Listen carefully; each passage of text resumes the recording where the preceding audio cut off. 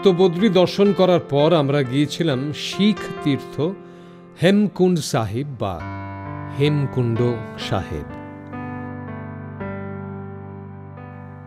হেমকুণ্ড সাহিব দর্শন করে আমাদের পরবর্তী যাত্রা পঞ্চকেদারের পথে। পঞ্চকেদারের পঞ্চম কেদার, কল্পেশ্বর, আপনারা ধ্যানবদ্রী দর্শনকালে প্রত্যক্ষ করেছেন।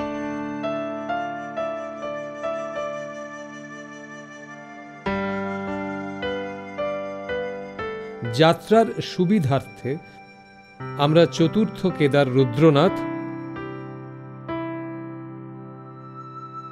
তৃতীয় কেদার তুঙ্গনাথ, দ্বিতীয় কেদার মদমহেশ্বর দর্শন করানোর পর আপনাদের প্রথম কেদার ও চার ধামের একটি ধাম কেদারনাথ দর্শন করাবো।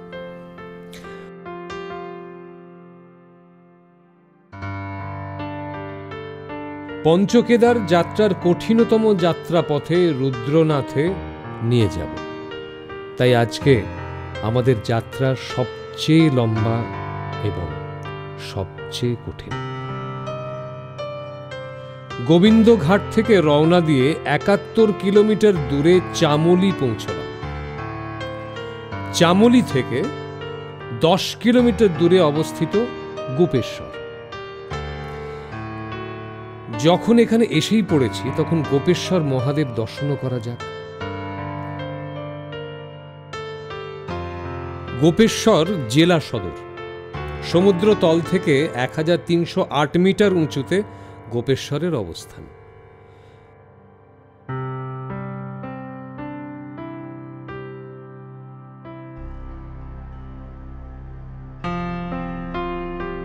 গোপেশ্বর বাজারের মধ্যস্থলেই রয়েছে গোপেশ্বর মহাদেব মন্দিরের তোরণ দ্বার।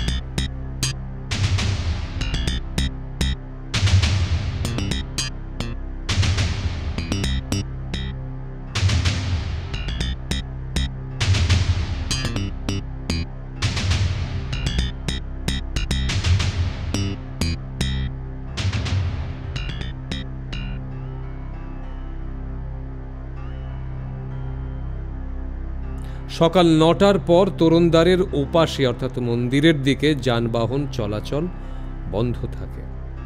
তাই পায়ে হেঁটেই মন্দিরের দিকে চলি।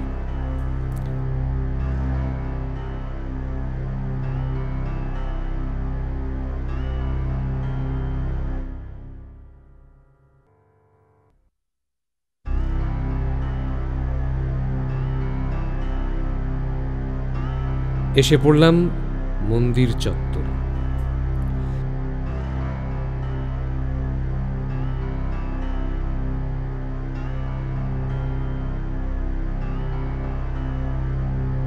কেদারনাথের মন্দিরের অনুকরণে তৈরি সাদামাটা বেলে পাথরের মন্দির।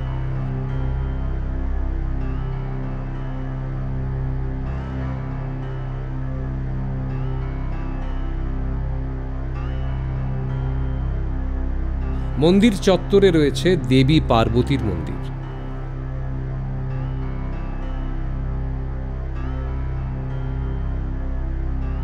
মন্দিরের গর্ভগৃহে দেবতা গোপেশ্বরের অবস্থান। গোপেশ্বরের মন্দিরে যখন এসে পৌঁছেছি, তখন বলে রাখি, শীতকালে রুদ্রনাথের পূজা গোপেশ্বর মন্দিরে হয়।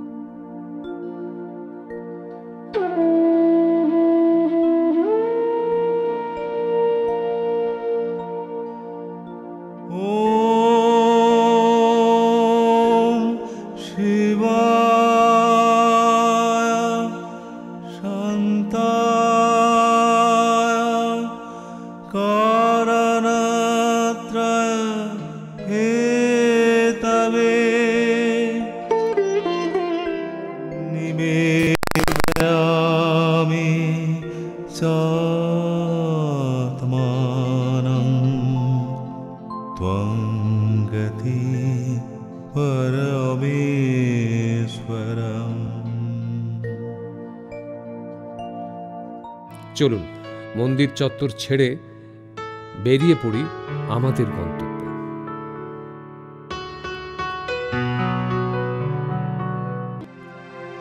পথ চলতে চলতে আর একটা কথা মনে পড়ে গেল। চণ্ডীপ্রসাদ ভাটের নেতৃত্বে যে চিপকো আন্দোলন হয়েছিল, তার কেন্দ্রবিন্দু কিন্তু এই গোপেশ্বর। আমরাও আন্দোলন করছি, তবে তা আমাদের দেশের সংস্কৃতি ও কৃষ্টির ঐতিহ্য বজায় রাখার আন্দোলন। কথায় কথায় চলে এলাম গোপেশ্বর থেকে চার কিলোমিটার দূরে সগরে। এখান থেকেই শুরু হবে রুদ্রনাথ দর্শন উদ্দেশ্যে পথ চলা। তার আগে জেনে নিই, এই জায়গার নাম সগর কেন হলো? রঘুবংশীয় রাজা সগরের জন্মস্থল এবং গঙ্গাবতরণের জন্য তার তপস্যাস্থল। তার নাম থেকেই এই জায়গার নাম, সগর। ওই দূরে দেখুন সগরের ইষ্টদেব মহাদেবের মন্দির। সময়াভাবে আজ আর ওই মহাদেব দর্শন করতে যাব না। এখন যাই রুদ্রনাথের পথে। দেখুন, সামনে কি লেখা আছে। আঠারো কিলোমিটার পয়দল মার্গ, দেখেছেন তো? তবে আগে থেকে বলে রাখলে হোটেলওয়ালারা ঘোড়ার বন্দোবস্ত করে দেয়। কথায় আছে না, ঘোড়া দেখলে খোড়া হয়, তাই আমাদেরও সেই দশা। এখন আর পায়ে হাঁটেকে চড়ে পড়লাম ঘোড়ায়। এইবারে বিল্ল, লালি, মুনিয়া ও রেশমা আমাদের নিয়ে চলল রুদ্রনাথের খাড়াই পথে।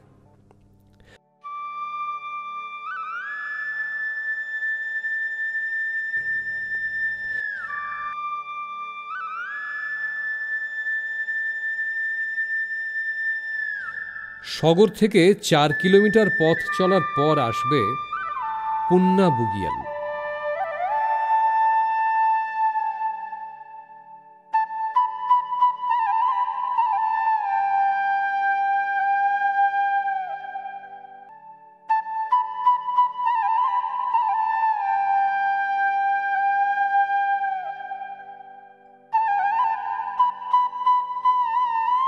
পথের ধারের চটিতে খেয়ে নিতে পারেন মেষের দুধের চা। তাতে শরীরে একটু বলও পাবেন। কিন্তু বসে থাকলে তো পথ শেষ হবে না। তাই আবার আমাদের সঙ্গে চড়ে বসুন ঘোড়ার পিঠে। আবার চলা শুরু। এবার চলতে হবে জঙ্গলের মধ্যে দিয়ে আর অসম্ভব চড়াই।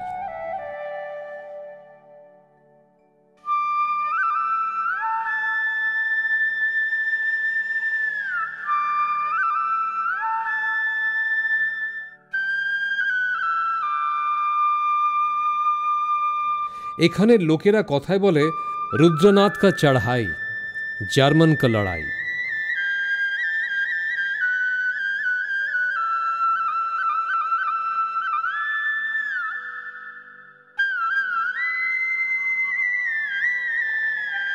কিন্তু চড়াই থাকলেও পথে সার সার অ্যালপাইনস, রডোডেন্ড্রন, ফার, পাইন ইত্যাদির জঙ্গলের মধ্যে দিয়ে পথ চলতে চলতে মনে খোরাক জোটাবে ফ্লোরা, ফুনা, পপি ইত্যাদি নানা ধরনের ফুলের বাহার।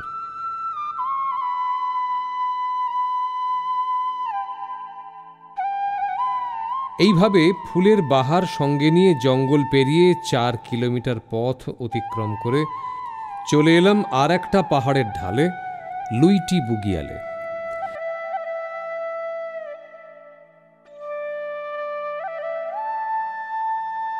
এখানে সেরে ফেলুন সকালের খাবার। তবে তা আপনার সঙ্গে আনলেই ভালো, কারণ এখানে রুটি, ভাত, সয়াবিন, আলুর তরকারি ছাড়া মনপসন্দ খাবার কিন্তু কিছু মিলবে না।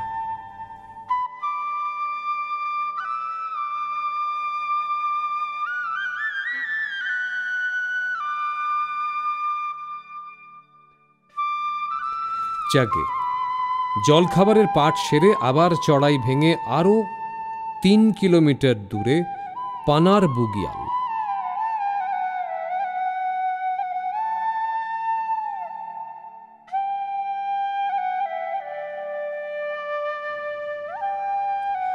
অপূর্ব নৈসর্গিক শোভা যা ভাষায় ব্যক্ত করা যায় যার রূপ দেখলে পথের ক্লান্তি নিমেষে ম্রিয়মান হয়ে যায়। মুখ দিয়ে শুধু একটাই কথা বেরোয়, আহা, কি সুন্দর। যেতে না পারলেও আমাদের চোখে একবার প্রাণ ভরে দেখে নিন। পানার বুগিয়ালের ফুলের বাহার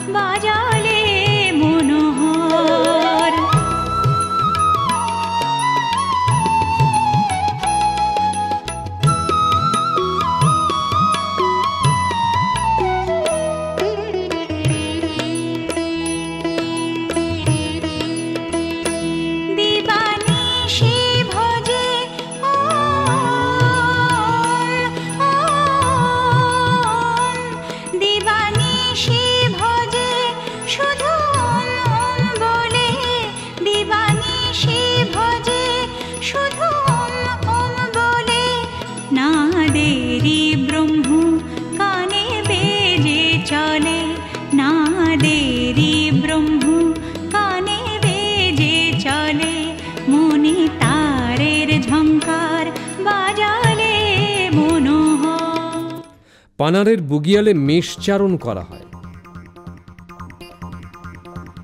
তাদের পাহারায় থাকে বড় বড় কুকুর।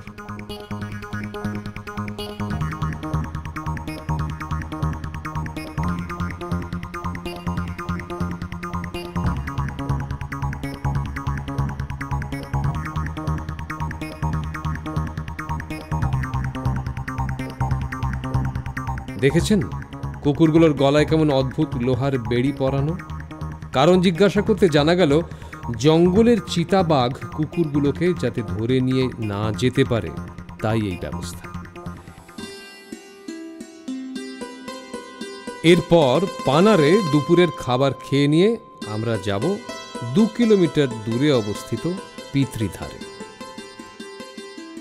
যেসব যাত্রী হেঁটে আসেন, তারা পানারে রাত্রিবাস করেন। এখানে সরকার থেকে দর্শনার্থী ভক্তদের জন্য রাতের থাকার আস্তানা করে রেখেছে। খাট এবং বিদ্যুৎহীন আস্তানায় শুকনো ঘাসের উপরে কম্বল পেতে শোবার ব্যবস্থা। নরম গদির বিছানা কষ্ট কল্পনা। তবে হ্যাঁ শৌচাগার আছে। মহিলাদের বিশেষ অসুবিধার কারণ নেই।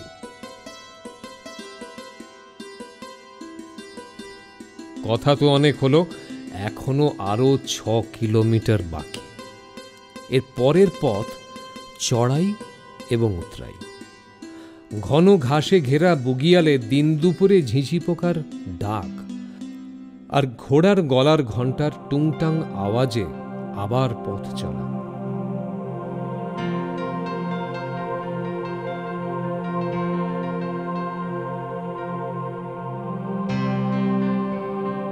দুপাশে সৃষ্টিকর্তার তৈরি ফুলের বাগিচা সঙ্গে নিয়ে পথ পেরিয়ে এলাম পিতৃধার। পিতৃধারে প্রবেশ পথে মানুষে সাজানো পাথরের তোরণদ্বার দ্বারে পিতলের ঘণ্টা লাগানো, এখানে ধূপ দ্বীপ জ্বালিয়ে পিতৃদেবের উদ্দেশ্যে প্রণাম জানিয়ে ঘণ্টা বাজিয়ে তবেই আগে যাবার অনুমতি মেলে।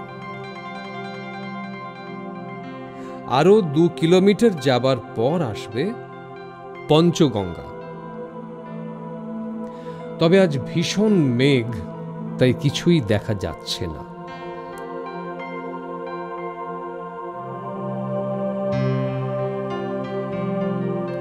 বর্ষার আকাশের মেঘগুলো পাহাড় চূড়ো থেকে ছুটে ছুটে নিচে নেমে গ্রামের গায়ে যেন আটকে রয়েছে।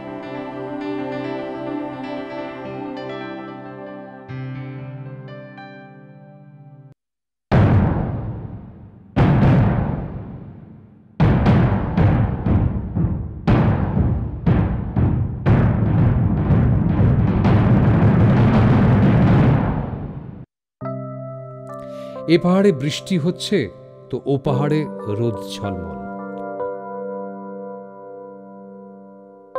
আর আলো আধারি আকাশে আঁকা হয়েছে ইন্দ্রধনু।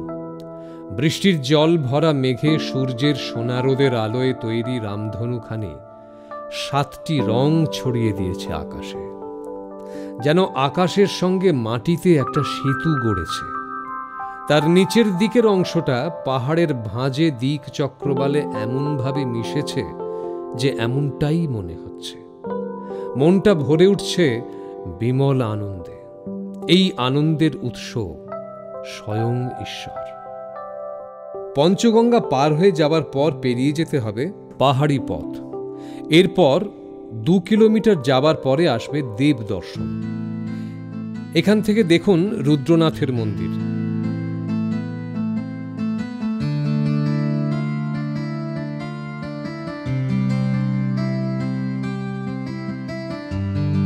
পথের পাশে রডোডেন্ড্রনের সারি, চোখ জুড়বে ফুলের বাহার।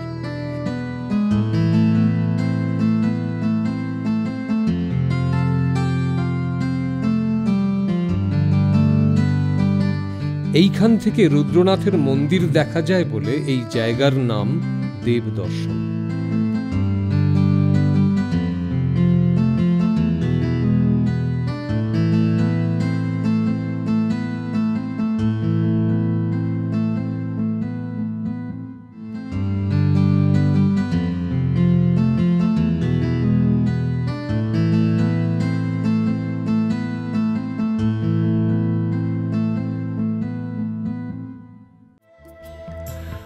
তরসের পানসি ধরে আমাদের হাতে হাত মিলিয়ে যদি আপনি ভ্রমণ পিপাসু হন, তবে অবশ্যই আমাদের সঙ্গে যোগাযোগ করুন এই নম্বরে।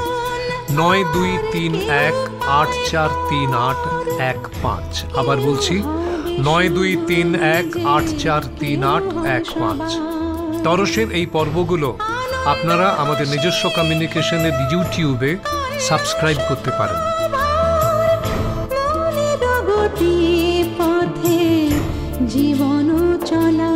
上